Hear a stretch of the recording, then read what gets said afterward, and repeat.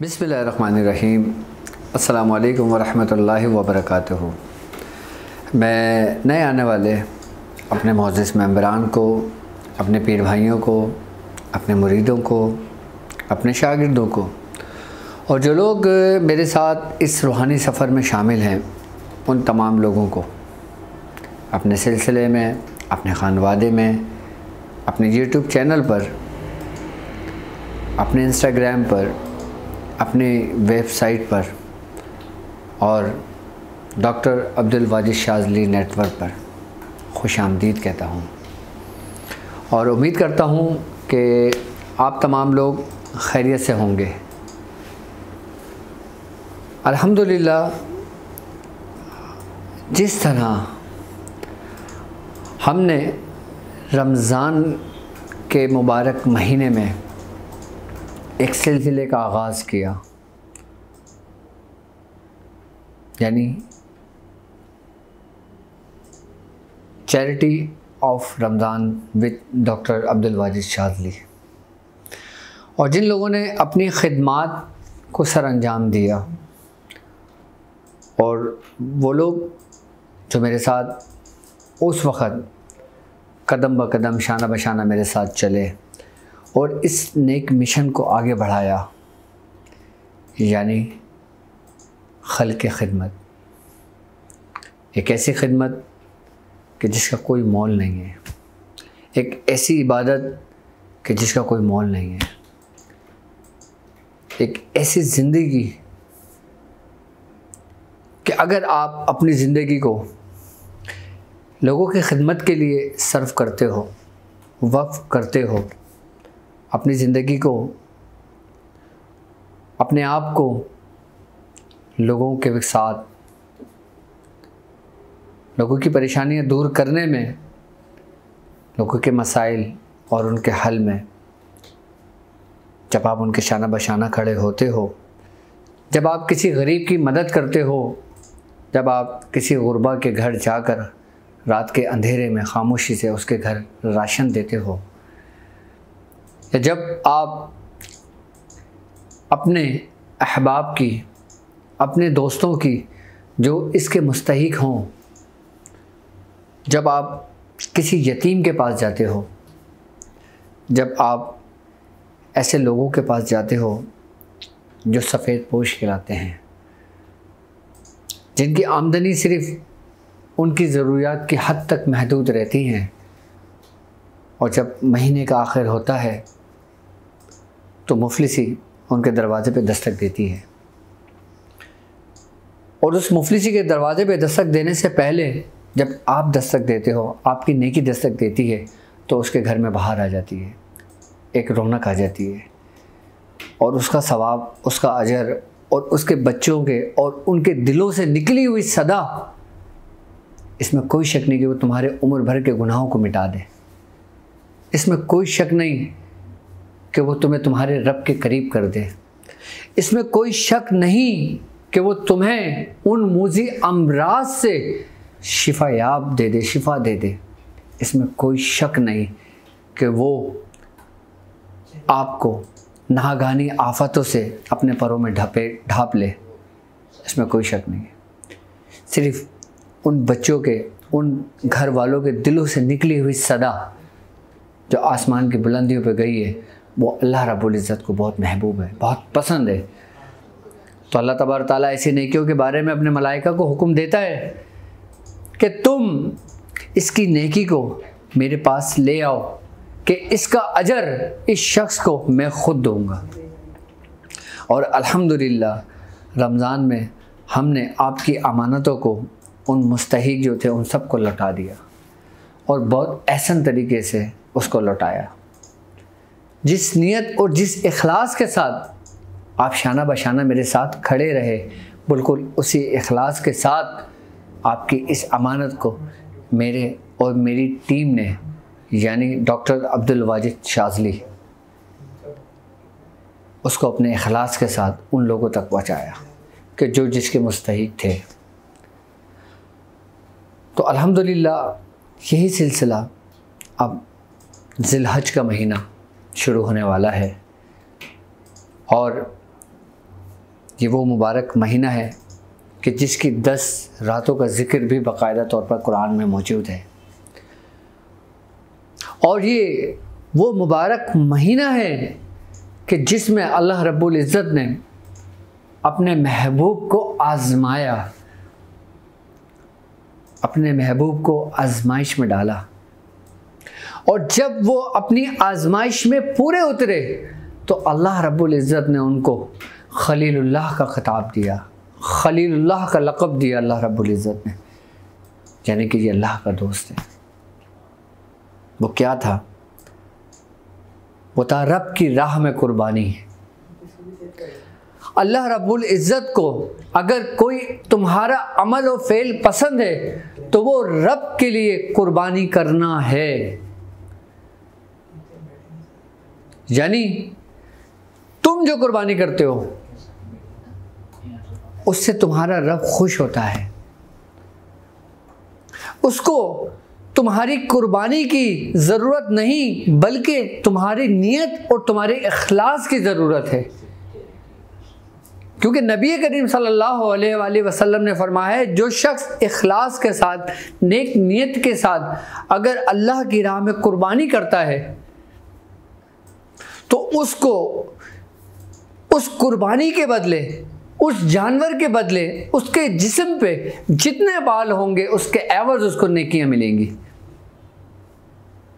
यहाँ तक के सरकार दो सल्लल्लाहु अलैहि वसल्लम, आप कुर्बानी का बहुत शद्दत से इंतज़ार करते थे और बिल्कुल पाबंदी के साथ आप कुर्बानी किया करते थे। और यहाँ तक कि आपने हज़रत बीबी फातिमा तो जहरा रज़ी अल्लाह ताला को फरमाया, ए फातिमा, जब कुर्बानी हुआ करे, तुम कुर्बानी के करीब हो जाया करो। तुम देखा करो अपनी आँखों से कि अल्लाह रब्बुल इज़्ज़त उस जानवर का खून का पहला कतरा गिरने से पहले अल्लाह ताला तुम्हारे तमाम गुनाहों को बख्श देता है। तुम्हारे गुनाहों को माफ़ कर देता है। यानी कि ये नेकी। अब आप बात सोचें कि इसमें अल्लाह रब्बुल इज़्ज़त की क्या हिकमत है? कि हम कुर्बानी तो अल्लाह के लिए कर रहे हैं, उसकी राह में कर रहे हैं, उसके नाम की कर रहे हैं। और जब उस जानदार के, जब अल्लाह अकबर के हम ज़िबा करते हैं, जब उसका खून का कतरा एक गिरता है तो वो ज़मीन पर गिरने से पहले अल्लाह रब्बुल इज़्ज़त तुम्हारे गुनाहों को माफ़ कर देता है। वो कितना मेहरबान है तुम पर। ये ही नेकियाँ कि जब आप इखलास के साथ, नीयत के साथ जब कुर्बानी करते हैं और कुर्बानी करने के साथ फिर आप उसको गुरबाओं में तकसीम करते हो, गरीबों में तकसीम करते हो मुस्तकिन में उसको तकसीम करते हो यतीमों के घर जाके आप खुद उसको तकसीम करते हो कि जिनके घरों के अंदर गोश्त खाने के लिए भी मैसर नहीं होता। जब ऐसे लोगों के घर बच्चे, बूढ़े, जवान जब गोश्त खाएँगे तो उनके दिल से दुआ निकलेंगी। और ये वही दुआ है कि जिसका कोई मोल नहीं है। यकीनन, कुर्बानी एक ऐसा अमल है, एक ऐसा फेल है कि जो करने वाले को कभी भी मायूस नहीं करती। यानी कुर्बानी हम करते हैं। ये एक ऐसा फेल है जो हर हाल में कबूल होता है। क्योंकि आप कुर्बानी किसके लिए कर रहे हो? अपने रब के लिए कर रहे हो ना? तो उसका अजर भी तुम्हें तुम्हारा रब ही देगा। तुम्हारे रब ने ही देना है। वो तुम्हें आजमाता है, तुम्हें पता है। वो कहता है कि और अगर हम, हमने तुम्हें दूसरों के मुकाबले में ज़्यादा दिया है, वो इस वजह से दिया है कि तुम लोगों की मदद करते हो। उसको लोगों के अंदर सर्व करते हो। मैं बारहा कहता हूँ आप लोगों से कि अगर आप चाहते हो कि आपके रिक्स में आल में, औलाद में बरकतें हों तो आप अपनी कमाई में से, अपनी ज़रूरियाती ज़िंदगी में से, जब आप अपने किसी मुसलमान भाई को शरीक करते हो, मुसलमान बहन को शरीक करते हो, या किसी ऐसे घराने को शरीक करते हो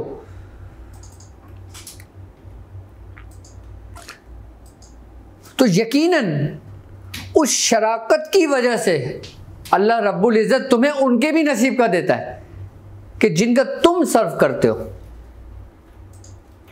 यही वो नेकियाँ हैं कि जब इंसान कब्र के अंदर जाता है तो यही नेकियाँ एक नूर की सूरत इख्तियार करके मलाइका के सामने आके खड़ी हो जाएँगी।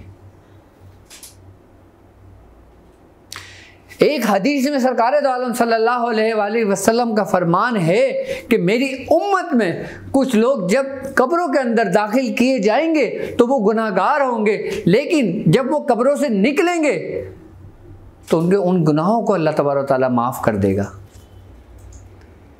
सिर्फ़ इसलिए कि उन्होंने अपनी ज़िंदगियों के अंदर ऐसे ही नेकिया को काम करे, सदका जारिया बनाया ऐसे भी वाकयात बुज़ुर्गों के मिलते हैं। ऐसे भी वाकयात बुज़ुर्गों के मिलते हैं। ऐसे ही वाकयात बुज़ुर्गों के मिलते हैं कि जिनकी सारी ज़िंदगी गुनाहों के दलदल में गुजर गई। उनके दिल में ये शक आया कि मेरी पता नहीं मगफिरत होगी भी या नहीं होगी। लेकिन उनसे एक नेकी सरजत हो गई। तो अल्लाह रब्बुल इज़्ज़त ने उस नेकी के एवज ही उसके तमाम गुनाहों को माफ़ कर दिए। उसकी इबादतों की वजह से नहीं। देखो, हर शख्स अल्लाह के फजल से जन्नत में जाएगा। उसकी रहमत के साय में जन्नत में जाएगा। कोई भी शख्स अपने अमाल की वजह से जन्नत में नहीं जाएगा। जन्नत में जाना ही कमाल नहीं है। जन्नत भी आप लोगों को आपके दर्जे के हिसाब से मिलेगी। लेकिन जन्नत के अंदर जो सबसे आला और सबसे अफजल मकाम है, वो इन्हीं नेकियों की वजह से अफजल होता है। यानी कि एक तुम इबादत गुजार हुए, तुमने अपनी पूरी ज़िंदगी इबादत में गुजार दी, और तुमने अपने रब को राज़ी किया, और वो तुमसे राज़ी हुआ, और उसने कहा कि तुम जन्नत में दाखिल हो जाओ। एक उस शख्स का मकाम और एक उस शख्स का मकाम कि जिसने इबादत करी और इबादत करने के साथ साथ अपने आप को, अपनी ज़िंदगी को खल की खिदमत में सर्व कर दिया। अल्लाह उससे जब राज़ी हुआ तो अल्लाह रब्बुल इज़्ज़त ने कहा कि इतमान पाने वाली नफ्स लौट अपने रब की तरफ़, कि तेरा रब तुझसे राज़ी हुआ। याद रखो कि जितने भी बड़े बड़े बुजुर्गान दीन हैं, उन्होंने अपनी इब्तदाई ज़िंदगी तो अपनी रियाजतों के अंदर गुजार दी, इनको दुनिया नहीं जानती थी। लेकिन जब उनको हुक्म हुआ तो सबसे पहला हुक्म पता है क्या हुआ था? कि जाओ, अब लोगों की असलाह करो। कि जाओ, अब दीन की तबलीग करो। कि जाओ, अब भटको हुए को समेटो। जाओ, गिरते हुए को संभालो। कि जाओ, जो बिखर गए उनको समेट के अपनी बाहों में ले लो। मकाम मकाम कुतब सुबहानी, कि आपको क्या मकाम मिला? महबूब इलाही, आपको क्या मकाम मिला? हज़रत बाबा फरूज मसीद गंज शकर रहमत कि आपकी पूरी ज़िंदगी इबादत में गुजर गई, मुशक्क़त में गुजर गई, रियाजत में गुजर गई जब आपने दीन की तबलीग करी, उस वक़्त आप पता है क्या फरमाते हैं? आप फरमाते हैं कि अल्लाह रब्बुल इज़्ज़त ने मुझे जलाल भी अता किया, मुझे जमाल भी अता किया, मुझे शान शौकत भी अता की। आपने उस वक्त नहीं कहा कि जब आप रियाजत में थे, जब आप इबादत में थे, जब आप अपने अपने आप को खल की खिदमत के लिए सर्व कर दिया, जब उसका सिला मिला ना तो अल्लाह रब्बुल इज़्ज़त ने आपको उसके एवज वो सिला दिया। लेकिन आप क्या फरमाते हैं? कि हमने जलाल, मखदूम, अली अहमद साबिर कलीद रहमत को दे दिया। जमाल, हज़रत जमालुद्दीन हसफ रहमत को दे दिया। शान व शौकत, हमने निज़ामुद्दीन अलिया महबूब इलाही को दे दी क्या था ये? क्या फैज था? क्या कमाल के लोग थे कि जिनको अल्लाह रब्बुल इज़्ज़त ने नवाजा और उन्होंने अपनी ही औलादों में तकसीम कर दिया, अपनी ही रूहानी औलादों में तकसीम कर दिया, यानी कि लोगों में तकसीम कर दिया। तो उनका क्या मकाम मरतबा होगा?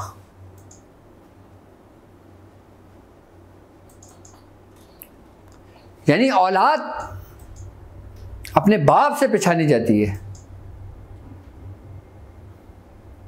आज जहाँ भी नाम निज़ामुद्दीन औलिया महबूब इलाही का आता है, वहाँ पर फ़ौरन ख्याल में हज़रत बाबा फरीद मसूद शकर का नाम आ जाता है। जहाँ पे नाम साबिर पिया का आता है, वहाँ पे नाम हज़रत बाबा फरीद मसूद शकर का आ जाता है। जहाँ पे नाम जमालुद्दीन हासमी का आता है, वहाँ पे नाम हज़रत बाबा फरीद मसूद शकर का आ जाता है। आप तारीख उठा कर पढ़ लें इस्लाम की। दीन की तारीख उठा कर पढ़ लें। सब के सब, यहाँ तक कि अगर मैं अम्बिया कराम की भी अगर मैं बात करता हूँ तो अम्बिया कराम को भी अल्लाह रब्बुल इज़्ज़त ने हिदायत के लिए भेजा। हिदायत किसके लिए थी? लोगों के लिए। कि उन अम्बिया कराम ने, उन साहब कराम ने, उन अलिया कराम ने खल की खिदमत के लिए अपने आप को वक़ कर दिया और सिर्फ़ और सिर्फ़ क्या? लोगों के अंदर एक शूर पैदा किया। मैं इन्हीं नेकियों की बात कर रहा हूँ आप लोगों से। सरकार दोम सल्लल्लाहु अलैहि वसल्लम का फरमान है। आपने फरमाया कि जो शख्स कुर्बानी करने की वसत रखता है, यानी कि उसके वसाइल हैं कि वो कुर्बानी कर सकता है, और वो कुर्बानी ना करता हो, आजकल आपने देखा होगा ना कि लिबरल लोग होते हैं, लोग बोलते हैं कि भाई आप कुर्बानी ना करो, किसी बेटी की शादी करा दो। आप कुर्बानी ना करो, किसी की मदद कर दो। आप कुर्बानी ना करो, ये कर दो। जो जहन भटकाते हैं जो लोग। इसमें बड़ी बहस व मुबासा हुआ है इसमें। वो सब कुछ ने नेकियाँ अपनी जगह हैं। कुर्बानी अल्लाह के लिए है, जिसके बारे में नबी करीम सल्लल्लाहु अलैहि वसल्लम का फरमान है। आपने फरमाया, जो शख्स कुर्बानी करने की वसत रखता हो, यानी कि उसके वसाइल हों अल्लाह ताला ने उसको नवाजा हो और फिर वो अल्लाह की राह में कुर्बानी ना करता हो तो वो हमारी ईदगाह के करीब ना आए। कौन फरमा रहा है ये? कि जो हिदायत के लिए लोगों को बुलाते हैं अपने पास, तलब करते हैं, कि जिनकी मोहब्बत से लोग खिंचे हुए आते हैं, आपने यहाँ कितना सख्त जुमला यूज़ किया है कि वो हमारे ईदगाह के करीब ना आए।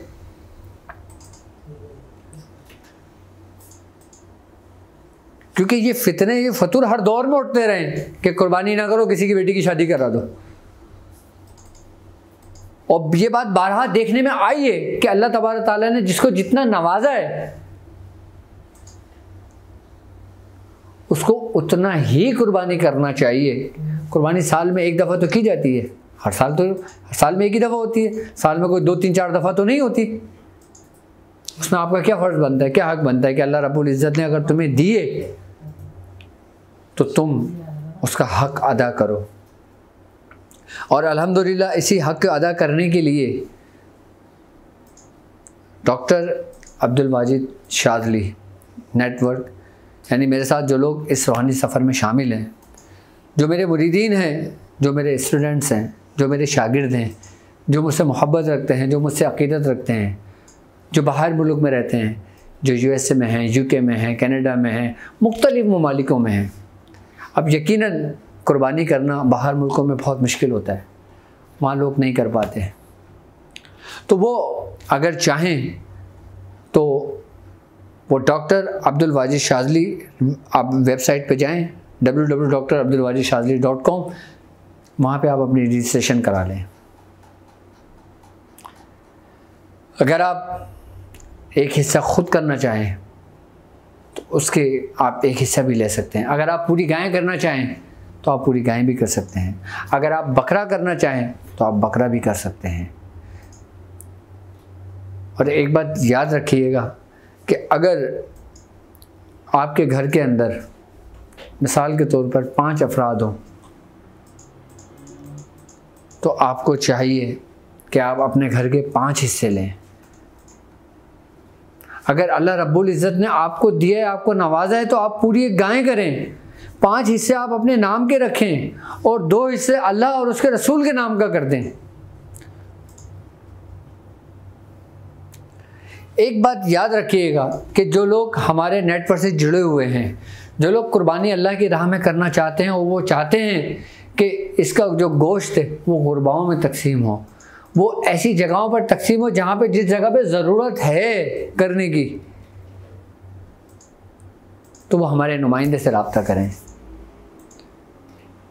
और एक बात याद रखिएगा, वेबसाइट पे कि जब आप रजिस्ट्रेशन करवाएँगे तो आप जिसके नाम की कुर्बानी करना चाहते हैं, आप उसका नाम मेंशन करें। आपको स्क्रीन पर नज़र आ रहा होगा नंबर। अगर आप वेबसाइट फॉर्म नहीं कर सकते तो ये नंबर नज़र आ रहा है आपको स्क्रीन पर, आप नंबर देखें। Zero three double one double one zero two zero two one. आप इस नंबर पे हमें कॉल कर सकते हैं।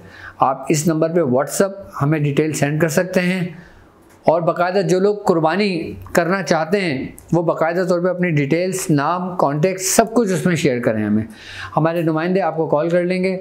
और जब कुर्बानी की जाएगी, जिस, जिसके जो नाम हैं बाकायदा तौर पर उनकी वीडियो बनाई जाएगी, उनका जानवर उनको दिखाया जाएगा। आई बात समझ में? और जानवर दिखाने के साथ साथ उनके नाम लिए जाएँगे जब उस पर सल्ला फेरा जाएगा, जब उस पर ज़िबा किया जाएगा। जैसे सात हिस्से हैं। सात हिस्सों में मिसाल के तौर पर अहमद है, सलमान है, जबरान है। इस तरीके के नाम लिए जाएँगे उनके और उनके नाम लेने के साथ साथ और फिर उसके बाद फिर कुर्बानी ज़िबा की जाएगी, ताकि बंदे लोग मुतमिन हो जाएँ कि हमारे नाम की भी कुर्बानी हो चुकी है।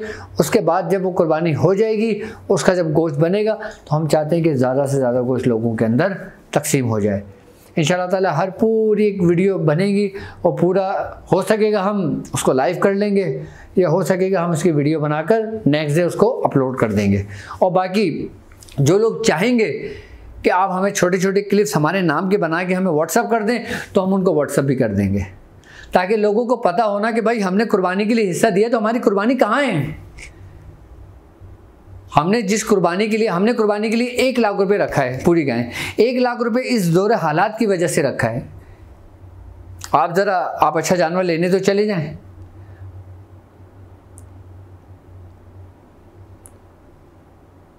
अब लोग रखने को तो लोगों ने पचास हज़ार रुपये की भी गाय रखी है।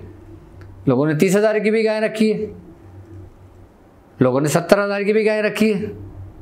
हमने एक लाख की गायें इसलिए रखी है ताकि, देखिए, हुक्म यही है कि आप सेहतमंद अच्छा बछड़ा लें। कि जो जवान हो, सेहतमंद हो, अब आप खुद सोच लें कि जवान हो सेहतमंद बछड़ा चालीस हज़ार में मिल जाएगा क्या? पचास हज़ार में मिल जाएगा क्या? आप ढूंढते रहें पूरी मंडी में, नहीं मिलेगा आपको। लेकिन एक लाख में आपको ऐसा बछड़ा मिल जाएगा जो जवान भी होगा और अच्छा सेहतमंद भी होगा कि जिसकी वीडियोस बाकायदा आप लोगों तक पहुंचेंगी। और हमने हिस्सा पंद्रह हज़ार रुपए का इसलिए रखा है ताकि अगर किसी को गोश्त दें भी तो गोश्त, भरपूर गोश्त दें उसको। ऐसा गोश्त दें कि जिसके घर के अंदर अगर वो पूरे हफ़्ते भी गोश्त पकाना चाहेगा तो पूरे हफ़्ते भी गोश्त पका सकता है, सुबह शाम भी अगर वो उसके घर में हांडी बनाना चाहे। इतना गोश अगर किसी को हम देना चाहें तो हम आराम से दे सकेंगे। इसलिए हमने रखा है। और बकरे के हमने चालीस हज़ार रुपये रखे हैं। ये सारी वही अमानतें हैं जो आप लोगों तक लौटाई जाएँगी।